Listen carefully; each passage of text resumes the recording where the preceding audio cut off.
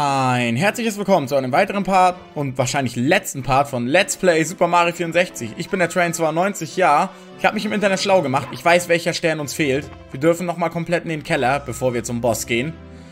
Das tun wir jetzt auch. Ihr dürft das natürlich alles mit mir miterleben und natürlich kriegen wir Schaden. Wer hätte gedacht?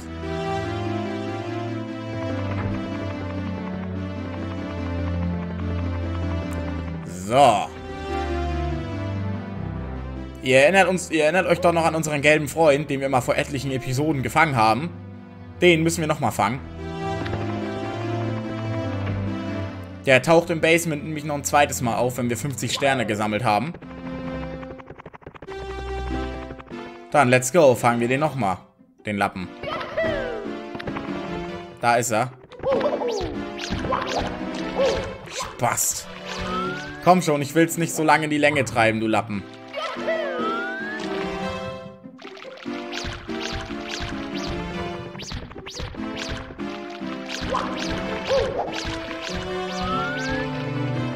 So, easy. Nein, nein, nein, nicht du schon wieder. Ich habe jetzt wirklich keine Zeit, über Sterne zu quatschen. Hier, nimm ihn und lass mich runter. Ich habe noch wichtige Geschäfte zu erledigen. Da ist er. Der letzte geheime Powerstern.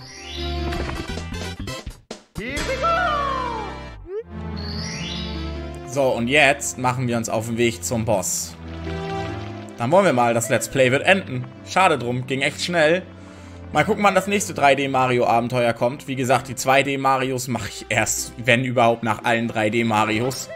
Mache ich ein 2D-Mario und dann nie wieder eins. So, gehen wir hoch.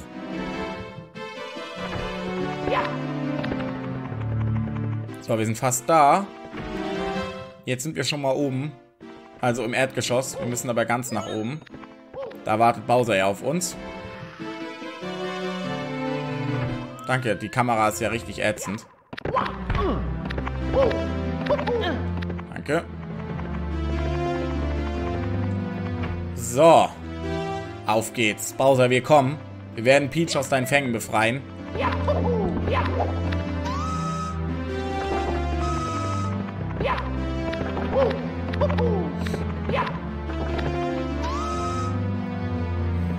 So, das war's.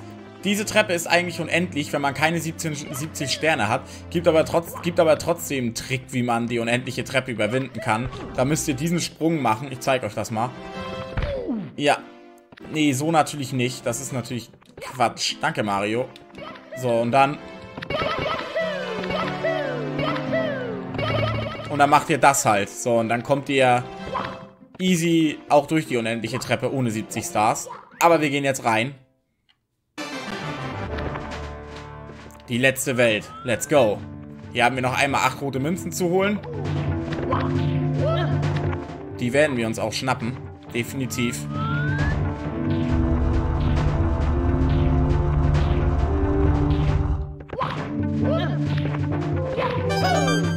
So, das ist Münze Nummer 1.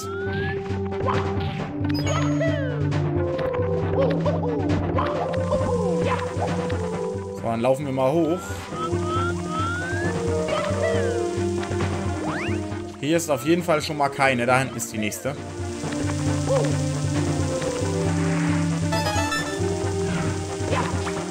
Da unten ist eine. Nein! Oh! Ja, das ist das Schöne, wenn man keinen 3D-Modus hat wie im 3DS. Mit Tiefenschärfe ist nichts.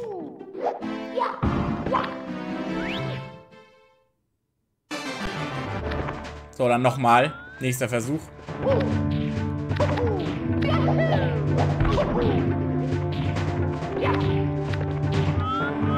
So, so, sollten wir aber easy schaffen. Die Welt ist jetzt nun nicht schwer unbedingt.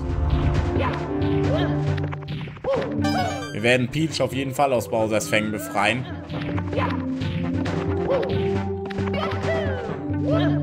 Sehr gut gemacht, Mario. Du willst unbedingt sterben, oder?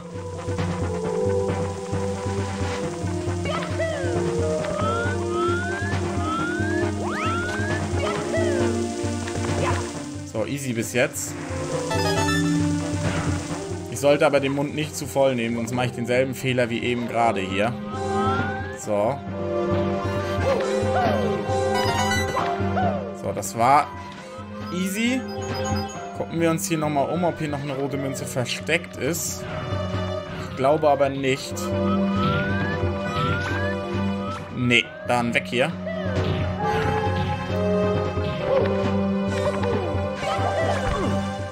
Sehr schön. Aufgepasst. Hier ist noch ein Leben, unser verlorenes Leben von eben gerade.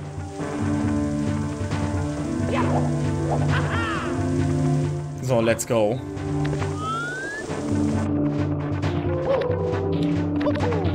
Und vorsichtig.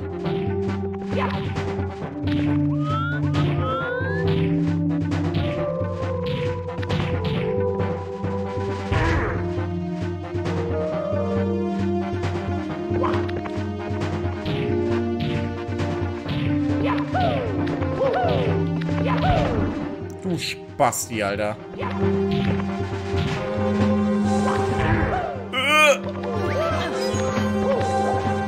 Du darfst gern draufgehen. So, den haben wir wegrasiert. Aber richtig hart. So, das hätten wir bis hier auch. Oh Gott. Ernsthaft?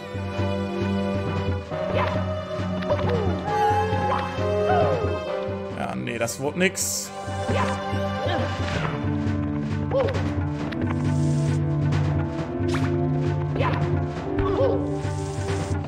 Ja, nice. So wird das doch nie was. Sehr gut. Bis jetzt läuft das alles. Wir kommen gut voran.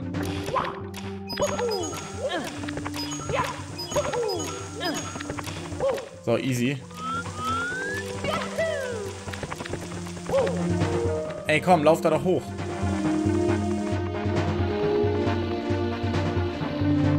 So, hier ist, glaube ich, noch eine rote Münze, die wir auf jeden Fall haben wollen. So, easy.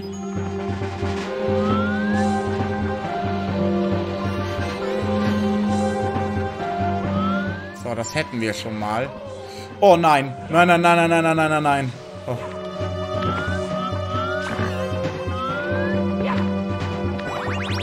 Das wird jetzt ätzend. Die rote Münze zu bekommen, wird richtig widerlich.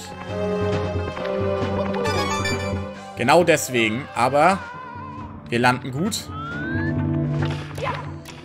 Kein Risiko. Kein Risiko eingehen. Wir wollen immer, wir wollen es immerhin schaffen. Und wenn wir es schaffen, ist das ja schon mal etwas.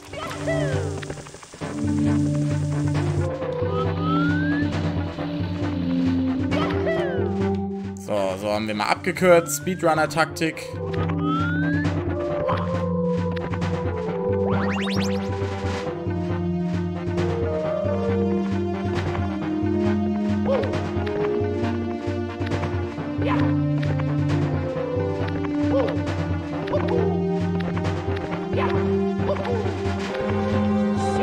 Sehr schön. Hier ist noch eine rote Münze.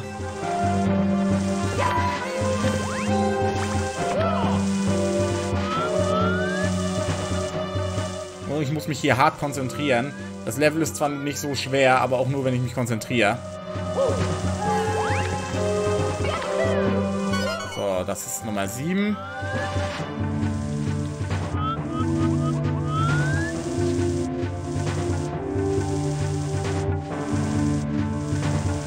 Mario, nein, das sollst du halt nicht tun. Genau das sollst du nämlich machen.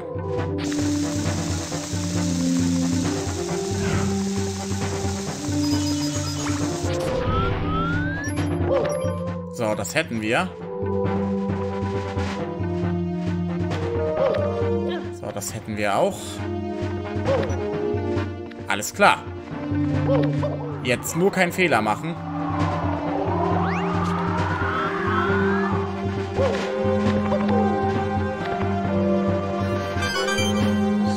Da ist er. Wir haben dann alle Sterne gesammelt, abgesehen von den 100 Münzensternen.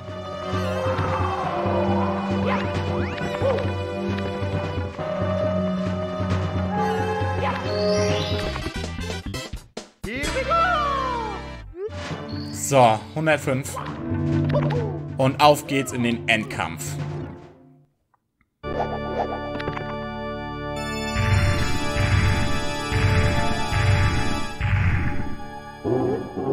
Mario, wie schön dich zu sehen. Ich dachte gerade an eine Grillparty. Schon bist du da. Jetzt brauche ich mir wenigstens keine Gedanken zu machen, was ich grille, nämlich dich. Dann gehört die Prinzessin endgültig mir und ich bin auf ewig der Herrscher des Schlosses. Das werden wir sehen. Bausi, Wausi. Du Spaß, natürlich drehst du dich super schnell. So, habe ich dich.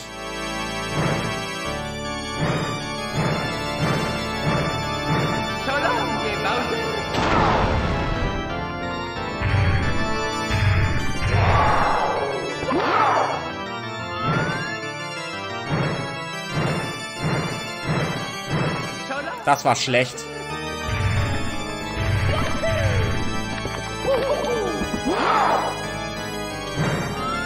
Ja, Bowser ist kacke, ne? Du kannst nichts machen. Oh, trifft das? Nein, natürlich nicht. Ich werfe ihn voll darüber. Ja, dumm gelaufen. Autsch. So, hoffentlich treffe ich ihn jetzt. Oh Mann, Alter, das kann's doch nicht sein.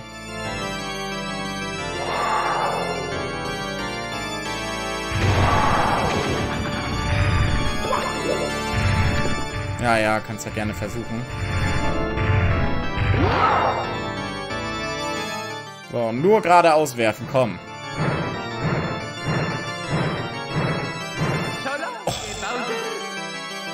So viel Pech wie ich kann man doch gar nicht haben. Meine Fresse, das kann, das kann doch nicht angehen, Alter.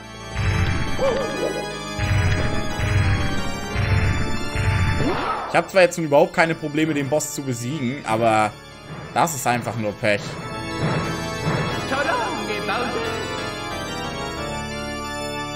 Ja, das kann sich ein bisschen ziehen, Leute. Aber, wie gesagt, schwer ist er jetzt nicht unbedingt. Danke, das war richtig geil, Mario. Du hast den Schweif zwar berührt, aber du hast ihn nicht gegriffen. So, komm, dreh.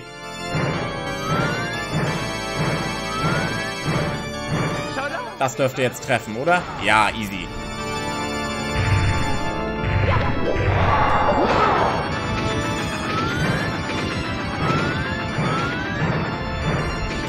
Das war's. Und wir haben gesiegt. Das war der Endfight. Ah, du hast gewonnen. Ich wollte mit meinen Truppen dieses Schloss erobern, doch du hast meine Pläne vereitelt. Der Frieden kehrt zurück in die Welten der Wandgemälde. Leider. Jetzt bleibt mir nichts anderes mehr übrig, als mein Ende abzuwarten.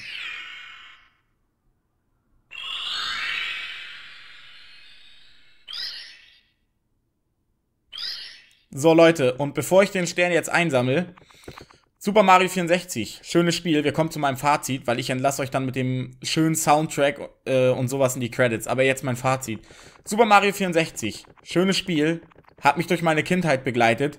Ein bisschen buggy, mal unsichtbare Wände hier, Steuerung ist ein bisschen komisch. Die Kamera ist absolut ätzend. die Kamera macht dieses Spiel halt so schwer, aber es ist immer noch ein gutes Spiel und ich wünsche mir tatsächlich ein Super Mario 64 2 mit besserer Steuerung oder mal ein richtiges Remake. Das wäre richtig geil. Nicht den DS-Kram, den sie da mal gebracht haben. Sprungphysik ist in Ordnung. Kennen wir ja alle aus Mario-Spielen. Äh, Mario Odyssey und sowas machen das noch besser. Genauso wie Galaxy. Ist klar, sind neuere Spiele.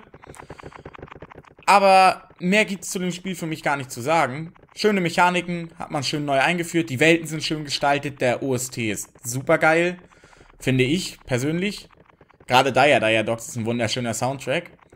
Aber ich entlasse euch hiermit in die Credits. Ich sag dann, ich hoffe, ihr hattet Spaß beim letzten Part und ich hoffe, wir sehen uns beim nächsten Projekt wieder. Tschüss!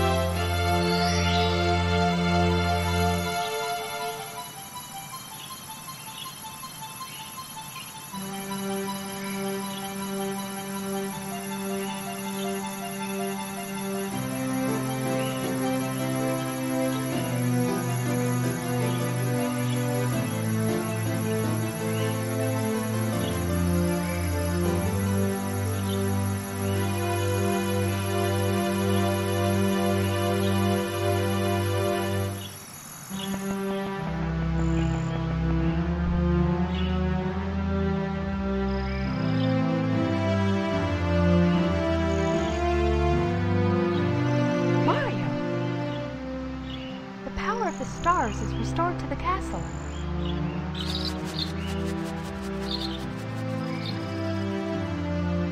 And it's all thanks to you. Thank you, Mario. We have to do something special for you.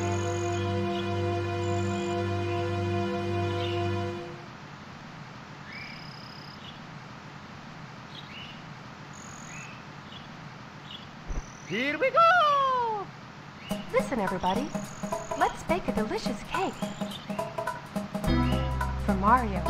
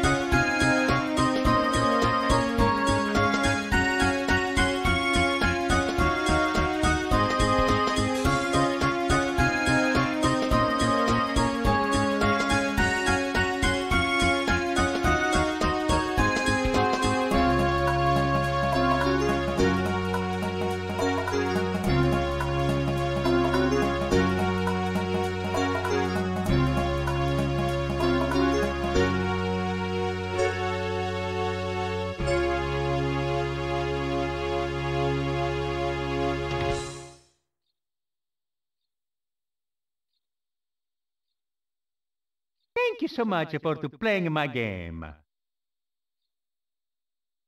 Vielen Dank, dass ihr bei dem Projekt Super Mario 64 zugeschaut habt. Wenn es euch gefallen hat, dann lasst doch einen Daumen nach oben da und schreibt mir in die Kommentare, was ich besser machen kann und welche Spiele ich sonst noch spielen soll. Wollt ihr Super Mario 64 nochmal sehen, dann drückt doch auf die Playlist. Und hier sind noch zwei weitere Projekte, die euch gefallen könnten. Wenn ihr noch mehr von mir sehen wollt, dann drückt doch auf den Vergiss nicht mich zu abonnieren Button, damit ihr nichts mehr verpasst. Nochmals vielen Dank fürs Zuschauen und ich hoffe wir sehen uns bei einem anderen Projekt wieder. Tschüss!